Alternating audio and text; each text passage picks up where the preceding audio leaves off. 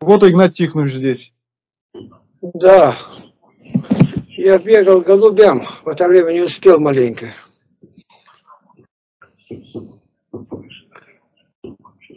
Пока температура это плюсовая, успеть вычистить у них. Да, правила везде. И особенно много у евреев. Вот все говорят Талмуд. Талмуд, кажется, толстая книга. Да, она не тонкая, но это 12 книг, где все по правилам. Вот у меня 23, 24, 25 том посвящен этому. Открытым оком. Вот кто не знает, никогда не читал, можете просто на наши книги выйти и там посмотреть. И сказать, что правила не нужны, не так. Вот, допустим, я голубятник, и живет тут метров через 250 еще голубятник. И вдруг молодой голубенок, он первый раз слетел, а назад не знает как. Чей он? Шагами надо измерить расстояние. Тому будет принадлежать где меньше. Это так было всегда, когда убитого находили. Это уже библейские. Мерили шагами. Убийцы где? А может быть, его к дверям моим подвести. Да, к дверям, ну, по-другому пока нельзя. И тебя не обвиняют, будет расследовать. Так вот. И в природе существует это же самое. Вот весной коров, когда выгонят, они сразу начинают бодаться. У воды, у еды. Первый день они выявляют отношения. За зиму они забыли, кто начальник. Вот иногда у нас и бывает Майданы поставить на место.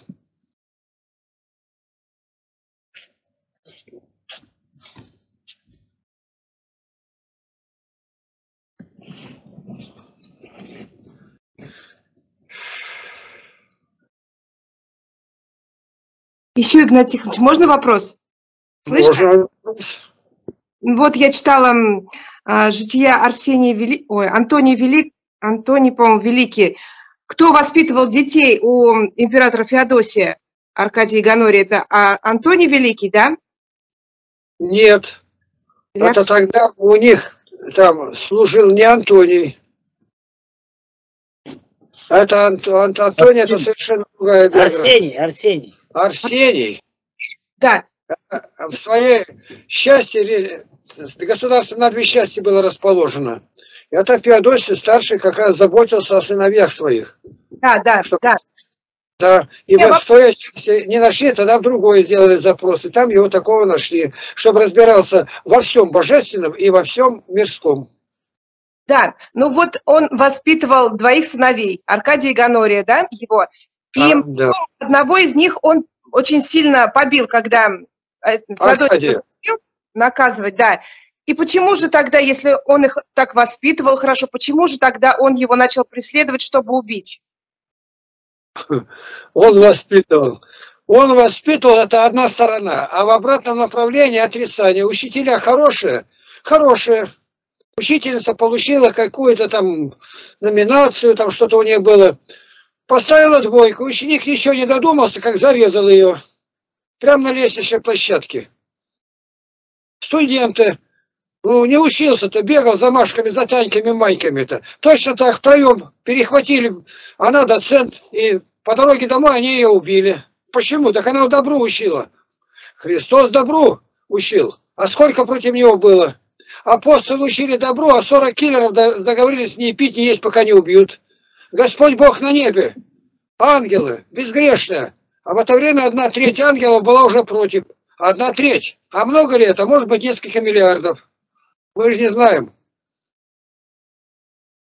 Так что вины Арсения там не было. Он наказал так, что рубцы у него остались, говорит, навсегда. И он сказал, как только стану я императором, я сразу его убью. Ему сказали, он бежал. И у него было как бы видение, беги и молчи. То есть совершенно не евангельский путь дальше пошел. Он ни с кем не разговаривал. Я поняла, Игнатий Тихонович, но вот от этого э, я унываю как-то, что я могу воспитывать своих детей, а они все равно ну, не станут христианами. Ну вот я не знаю, какое-то уныние из-за этого, из-за всего И сколько? Вам сколько лет? Мне 47. А старшему сколько? Старшему почти 20, а младшему 7. Вот он у меня последний. Это у вас сколько детей? Двое всего. Двое. У меня примерно 100 детей было те годы находилось. Я директор детского лагеря, сам основал его. И директор его 45 лет. Берешь детей, лишь бы сказал, что верующий, а он и неверующий. Чего только не было. Но у меня было физическое наказание. В уставе написано. Там вот, а власти-то против. Они против меня где-то около четырех уголовных дел воздвигли. Но ни одно не дошло до суда. А если дошло, было разгромлено. Родители заранее расписывали, что я имею право наказать их ребенка. За что? За матерное слово, там, кого-то ударил. Ну и такое вот. Я, Это опять же, как ушел. Бог благословит. Но я меня пронес. Я ушел. Совсем? Да, да, да. Ну ладно. Володя тут провожаю. Господи, да благослови тебя, Господь, брат. Иди с Богом. Палочку там поставь с этой стороны. С той стороны. Ну вот так, сестра. Дело-то какое. Это от нас многое не зависит, но это как благодать Божия. По благодати Господь дал мне близких отношениях, близких просто таких, сказать, ну, отношениях, или как там, прокурор края был, генерал-лейтенант. И все жалобы, которые были, он и гасил их. Потому что он видел, что это несправедливо, говорят. Но он мне советовал, не берите таких детей. Столько же вопросов с ними-то. Они не хотят ничего делать. Но у меня речь сошла не просто о детях, а дети, которые смотрели на родителей. Некоторые уже, там ему сколько там, 14 лет, он законченный наркоман. Они купили наручники, их батареи, говорит, мы его приковываем, из дома все вынес уже на наркотики. Сейчас, буквально, ну, я сейчас гляну, подождите, дверь закрою.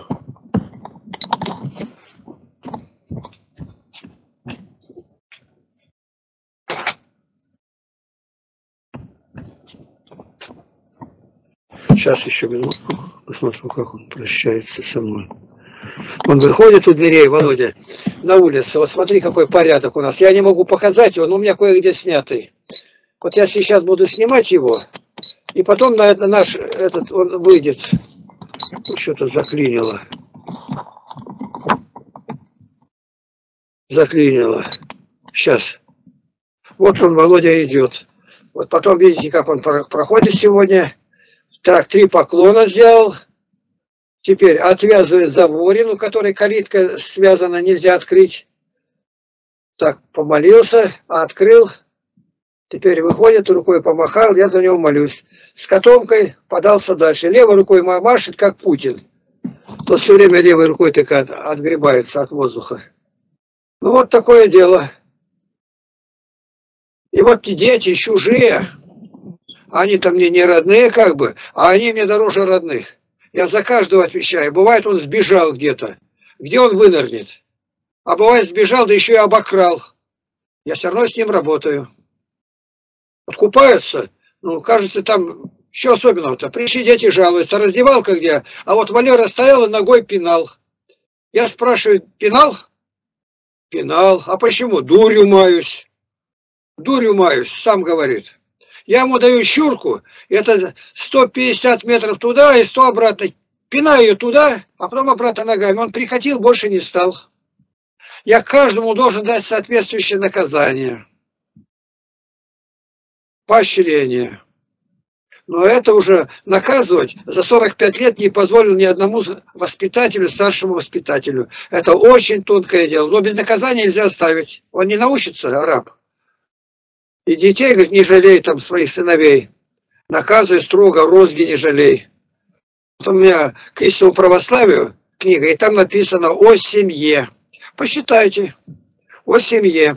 Еще есть материал, я еще раз решил его проверить, и там кое-как буквы избавить. Е на ее перевести, называется «Воспитание воспитателей». Везде учат людей, на какую должность его. Проверяют, он сдает экзамены, годится, нет. А стать родителем никаких экзаменов не было.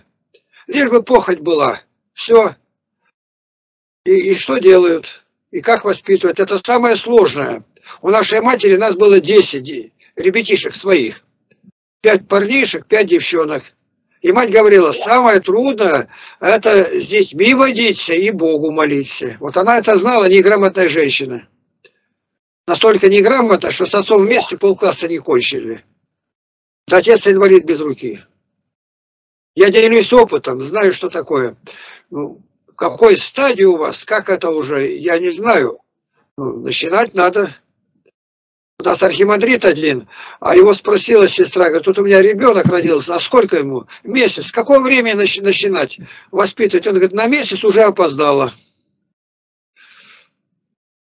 Вот у моей сестры ребятишки, ну 10, у нее семеро, и а, она никогда не подходила в люльке, ребенок кричит. Говорят так. Я знаю. Я, он сухой, накормленный, я ему не нужна, все. И он засыпает, и все нормально. Дети спокойные все. Ну, если они свои. Вот так. Все, я поняла. Спасибо. в чужую семью не войдешь, чтобы тебя полноправным признали. Но я совет вам даю. Все пересмотрите и к молитве прислоните. Как? С мужем все согласно. Дети большей счастью-то не научаются, а подражают. Как, как родители себя ведут. Они там, и даже игры эти, которые играют. Вот вчера только Володя показал. Мальчик 9 лет, попытка изнасилования восьмилетней девочки.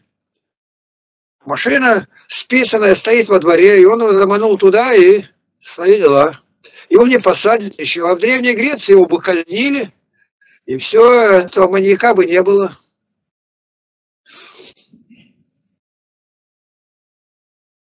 Вот все.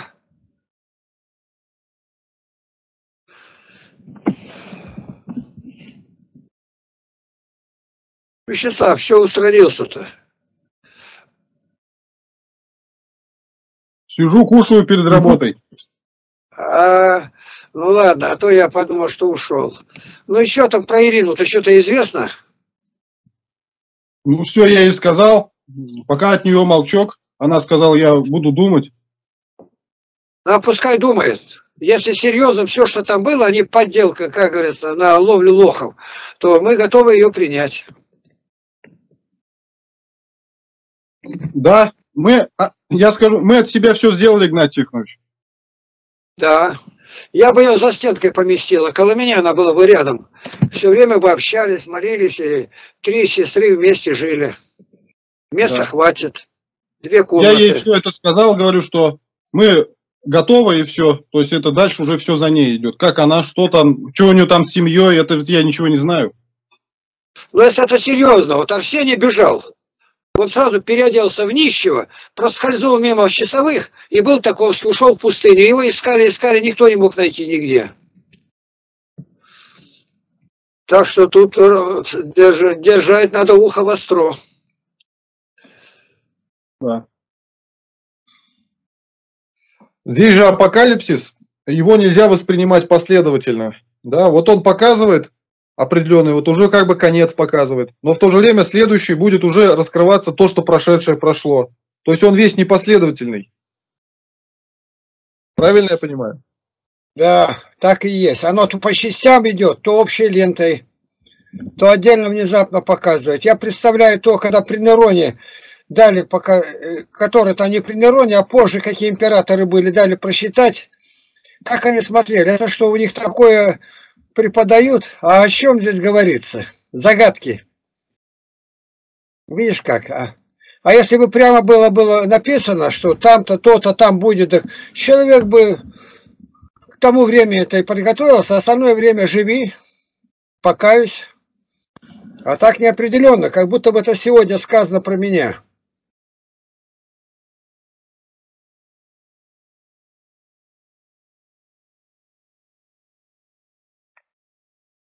Мир вам, Игнатий Тихонович, можно вопрос? Можно. Ксения Михайлова, скажите, если жена непослушна мужу, если муж ей подчиняется, является ли жена препятствием к познанию, ну что муж не может найти Бога вот из-за такой непослушной жены, что вот он привык подчиняться ей? Не могу оформить вопрос никак. Ну, препятствием к тому, что не, не может он никогда Бога добраться. Вот я, я сейчас, э, я вообще была жена раньше непослушная совершенно, А сейчас эм, начинаю слушаться. И я вижу, как мой муж, он порой из меня вот это непослушание прямо жестко, жестко очень со мной поступает.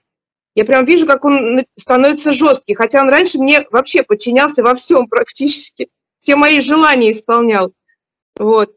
И ну вот, вот мой главный вопрос. Являлась ли я препятствием к тому, что мой муж не может найти Бога, если я ему не подчиняюсь? Вот если я такую главную кафедру заняла в семье, не, не поняли меня, наверное, что я хочу ну, а сказать? Вы, вы, вы сами как, анализируете это, правильно делаете или нет? Ну, вот я начала его слушаться, и я вижу, что он, то он был, прям все исполнял мое, а теперь вдруг жестко со мной начал очень поступать, прямо меня в пух и прах. Как я детей Но своих. То, что впереди было хорошее, за это хорошее расчет надо сделать, чтобы было поровну. Угу. Так что примите это как радость от Бога. Иначе бы вы так и думали, что вы мужскую роль исполняете, на своем месте стоите. А так он вас берет с эти рамки, а вам уже это не в привычку. А если вы с первого дня это вы делали, как положено, вы бы даже внимания не обратили, считали так и надо. Угу, угу, Когда он, он потеряет право учить, говорит вопреки Златоуст, говорит, кафедру занимает жена. Она ему тогда говорит, вот иногда говорят, я посты соблюдаю, а он нет, он сердится. А ты выйди из этого положения. Чисти картошку, завари все, ему скажи, ты меня пощади, скажи, мне нельзя это, купи нам мясо, отруби его по размеру кастрюльки, и когда закипит уже там все, я картошки кладу, а ты свое мясо положи, я отдельно тебе кастрюлю сделаю, все сделал, все как надо будет. Ему зачем поститься, когда он неверующий? Ему это не надо, но глядя на вашу скромную, послушную жену, он задумается. Угу. Все, поним... Вот иногда бывает, зовут в гости на Новый год, никогда никуда не ходите. Не надо, идет пост, да и делать там нечего. А если пришла, нигде не участвуй, не в разговоре, но возьми с собой Евангелие, кому-то подари и слово попроси, чтобы так это культурно было, как говорят, по-христиански. И там можно сказать слово. А когда выпивают или что-то, сразу скажите, выпивать будут, я сразу уйду домой. Мне не положено тут быть сидеть за столом. Блажен человек, и же не едет на совете счастливых. И не стоит на пути грешных, не сидит в собрании развратителей. А пьянство – это разврат. Это они рядом в обнимку идут. Тут надо на каждое дело отдельно смотреть и молиться, а не то, что, чтобы соблазна не было, один священник выступает. Но я пошел на Новый год, пост идет он, ну дали кусок мяса, но я съел для того, чтобы никого не соблазнять. Так же наоборот, ты соблазнил людей, поп-то смотри, мы ехали как-то в поезде, мы свидетельствовали, так получилось. Мне пришлось в ресторане вагонном, железнодорожный поезд идет, четыре часа проповедовать подряд. Четыре часа отвечать на вопросы. И там один подошел, корочки показал красные. Я сотрудник КГБ, вы прекратите тут агитацией заниматься. А она подошла, директор, руки в боки, вот так буквой Ф. КГБ, да ты вчера у меня еще тепленький выполз отсюда, сядь, а то сейчас выпру. Он сразу, извините, пожалуйста, и сел на место и больше не вылазил. Интеллигентный, культурный. Надо в каждом месте смотреть, как поступить. Девора, она не сама не просилась на войну, но ей сказали, не пойдешь, я не пойду на войну. Она сказала, пойду, но главная слава уже не тебе будет, а другому. Вы знаете, там Сисара как погиб. В любом месте надо смотреть. А на похороны зовут. На похоронах неудобно. Люди не дают говорить. Им главное скорее зарыть на христатсе. То есть везде-везде нужно делать по разуму по уму, по молитве. Поняла. Спаси Христос, Игнатий Тихонович. Да. Понимать начинаю.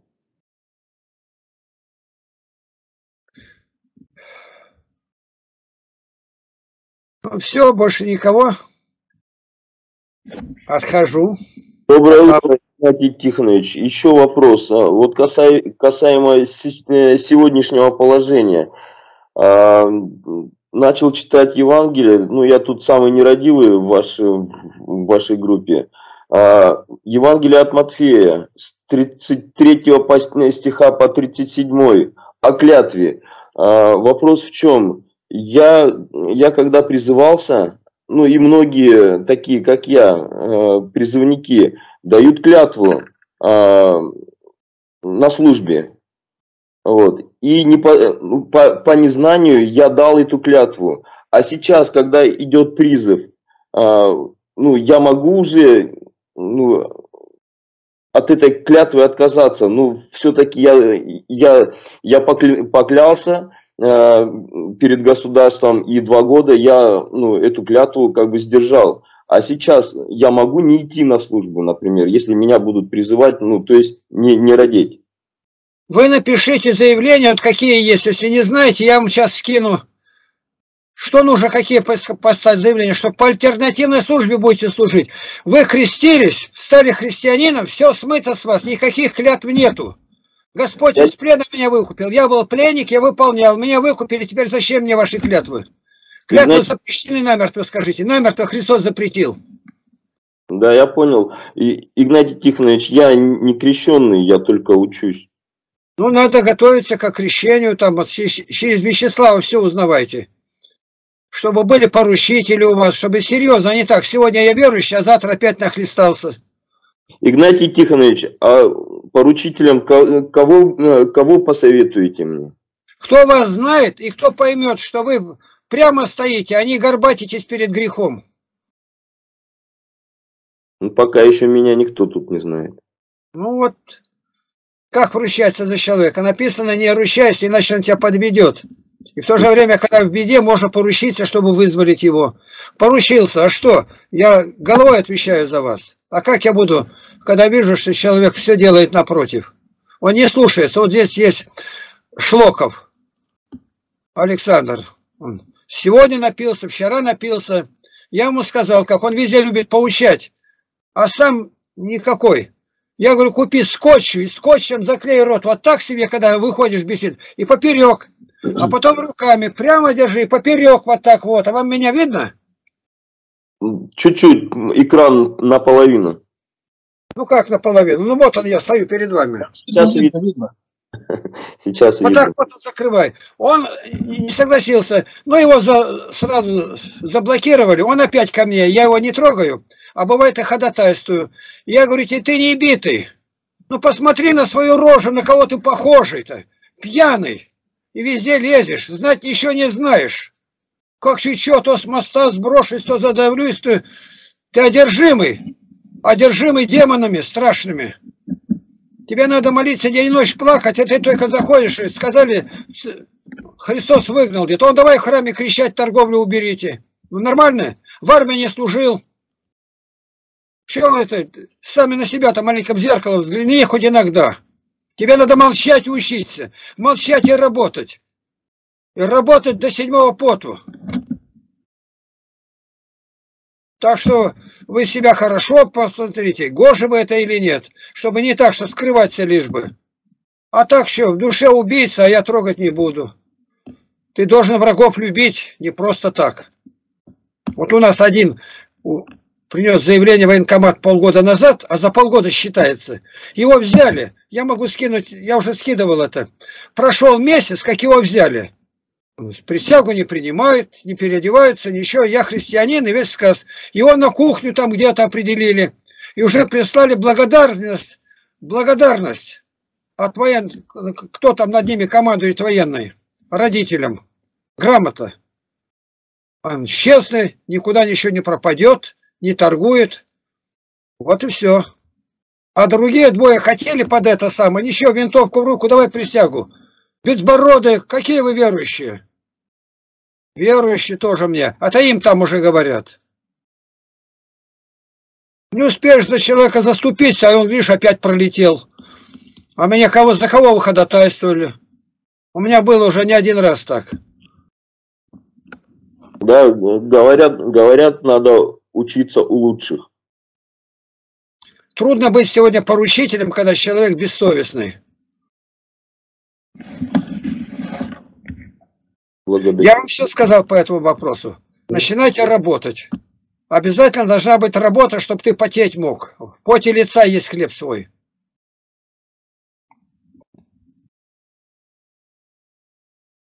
Вопросов нет, отхожу. Игнатий, Игнатий, Игнатий Тихонович, мир вам. Вы слышите меня? Слушаю, Николай Георгиевич, говорите. Вопрос. Значит, при разговоре с человеком, у которого винегрет э, подмешаны очень многие, и баптизма, и, и иудаизма, ну, всего многое. Вот. И он э, заявляет, что Бог не мог молиться Богу. Вот, как разоружить э, одним словом? Или же не стоит этим заниматься? Не стоит, никак. Таких людей миллионы, если не миллиарды. И кого ты будешь управлять? Библия есть, Дух Святой сходит. Пускай молится, и Бог открывать будет, берет святых отцов. Мало что там говорят. Даже каждому дал Бог ум и совесть. И, и другой вопрос. А, как в разговоре себя поставить? Почему? Потому что когда а, я начинаю проповедовать о Христе и говорить словами из а, Писания, вот, это кратко. Дальше. Его несет, и он не останавливается, не дает возможности говорить. Как мне поступать? То ли, э, то ли молчать, завернуть, Дорогу свою завернуть от его пути. Не соблазняйся, отойди от него. Если он в Духе Святом, он сразу почувствует голос неба, голос Христа. А он не дает тебе говорить. То есть у него там, может, легион под языком сидит. Зачем же ты будешь говорить? Надо, чтобы искали, просили Петра. Он тогда пришел. Они не знают, что у них комната мертвецами забита. Придумали скелет в шкафу. Э, спаси Христос. И еще последнее то, что а, мое было а, не то что пожелание к нему. Он говорит, я пытливый, я ищу. Я говорю, есть а, такой проповедник, Игнатий Тихович Лапкин. Вы можете найти его и выйти на, на разговор с ним. Я дал координаты. Не знаю, правильно или неправильно я поступил, но у меня было такое желание, чтобы для просвещения его, если он желает, чтобы он с вами поговорил. По скайпу. Да, по, по скайпу, по скайпу. По скайпу я никому никогда не отказывал, пока не узнаю, кто он есть. Бывает одна встреча, а бывает на всю жизнь. Тут мы и побеседуем. На Вячеслава дай адрес, телефон. Хорошо, спаси Христос, Игнатий. Аллилуйя. Аллилуйя. у нас есть на кого сослать. Это люди почти все знают Слово Божие. Так, никого нет, отхожу. Не успеет еще никто ответить. Уже это идете. Ну все. Все, братья, спаси Христос за слушание. Аминь. Спаси Христос. Благодарю за молитву. Аллилуйя. Еще раз прочитайте потом, чтобы понять. Одно дело слушать, а надо еще самому пройтись. Вникнуть. Да. Аминь, спаси Христос. Аминь. Ну, кто уже не первый раз читает, те понимают, а кто первый раз слышит, для тех трудновато это все, много информации.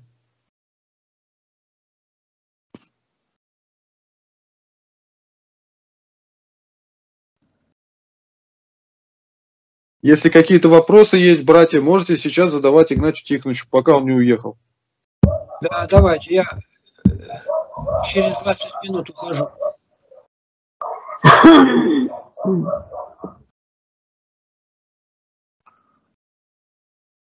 Вот как хорошо.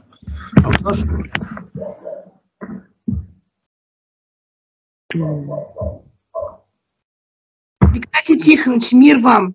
С миром. Слышно меня? Слышу вас. А меня, меня слышно? Да, да, хорошо слышу. А, у меня, это Ксения Михайлова, я опять про детей хочу спросить, ну вообще про, про людей. А, наблюдаю за своим младшим сыном, семилетним, а он у меня, я вижу, что он капризный. Вот, и как бы борюсь с этими капризами, и увидела, увидела, что я сама, оказывается, тоже капризная. А раньше я не видела, я думала, что у меня все правда. Оказывается, я капризная. Потом увидела, что и муж мой, оказывается, капризный. И получается, вот мы так живем и используем друг друга ради наших капризов. Вот битый не битого везет. Вот, вот это вся семья наша. И я потом вижу, что и люди, оказывается, все капризные. А как же тогда вообще вот здесь одни капризы, и все люди ну, все ну, дела свои, у них все дела это их капризы. И как же тогда вообще мир держится, и предприятия, и государство? Вот здесь только это, больше здесь ничего и нет, оказывается. Вот смотрите, вы крещеная? Ну, наверное, нет. Вообще, да, в детстве. Ну, вот представьте, что вы пришли к Иоанну Крестителю, и он вам что стал? Он бы сейчас сказал, змеи, порождение Ехиднины. Кто внушил вам бежать от будущего гнева? Кто внушил вас задавать такие вопросы? Ответьте мне. Это я Креститель вам задает вопросы, не я. Я даже не понимаю. Ну, тут у меня знакомая одна близкая, брат у нее архимандрит. И вот она говорит, он только приехал, но видит, ребенок на руках, мальчик-то. И она говорит, вот чтобы капризу не было, когда надо научить? Он говорит, а сколько ему? Да уже неделя, как родила. Он говорит, на неделю опоздала. На неделю опоздал. Надо было учить, пока еще не зачатый был. И молиться об этом.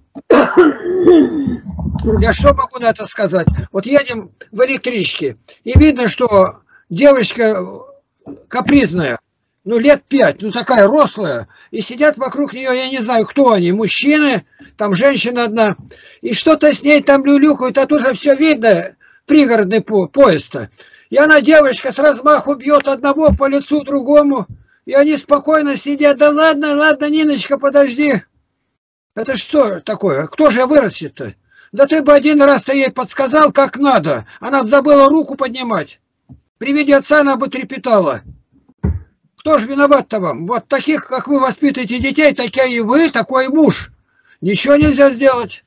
Поэтому придет всемирное наказание за все это. И тогда мгновенно всех, это или чума, или людодетство, или война, или голод. И тогда все смирились, а возражать некому. Тем более, когда мы такие на улице выбросили. Никого не принимай, кто что-то там а властями наказан. Будете косяки грызти. Я капризный. То есть у него что-то есть, дают, но она не хочет, дай другое. Не давай два-три дня, все, она будет подряд мести. Я вот на квартире жил у одних, и ну, она жена э, лет на 15 старше мужа, девочка такая капризная, ну, видно, что избалована это. А я ей говорю, 15 километров ехать до нас, я про школу говорю. Они мне ее дали, я ее на велосипед и домой сюда привез Потеряевку-то. Она сразу увидела ласточинное гнездо, уже залезла. А как промялись дорогой до вечера, то она не ест ни одно другое, там у печки глину ковыряет, ест. Мама поставила только картошку нечищенную, там молока дала. Они все за себя метят, и она сразу с ними. Надо больше, дети больные, капризные, больше рожать надо. Вот показывают, полячка одна, сколько, 8 детей. Она сохранилась, как будто 30 лет нету. А как вы юность сохранили? Рожать больше надо. Вот у моей мамы рожено было 12. Живых нас было 10, капризных ни одного. Мы этого не знали. Сказал отец или мать, это закон, абсолютный закон и что-то не так, или старшему брату я не подчинился. Да, я даже не могу понять, как это. Вот причина какая, ненормальная обстановка. И песня поется, я у де... там у матушки, там у кого один, я у дедушки один. Они ему щенка подарили, он ходит, и дед спит, бабка спит. Он один во дворе. А нам некогда этим заниматься было. Мы то по ягоды едем, то что-то. Вот, вот причина теперь. Посмотрите сами. Лекарство в вас. В вас. Господь ни я, ни Бог тебе не поможет, говорит Иоанн Златоуст, если ты сам себе не поможешь. Ни я, ни Бог. А я что могу сказать на это? Один ребенок. Как это? А почему их не пятеро? Вот моя мать, она 10 детей живых имела, мать-героиня. И вот у нас вообще это даже такого порока не было. И мы не знаем, как это так капризничать. Пойду, не пойду, буду есть, не буду. Не будешь есть, мама тебе не даст несколько дней. Все будешь подряд молотить. С этим надо бороться. А вы боитесь ребенка пальцем тронуть. Рукой бьет отца мать, да эта рука бы у нее, говорит, посинела. Шти отца и мать. Проклят, кто злословит. А это не злословие по щеке бьет отца и мать. А ребенку еще лет пять.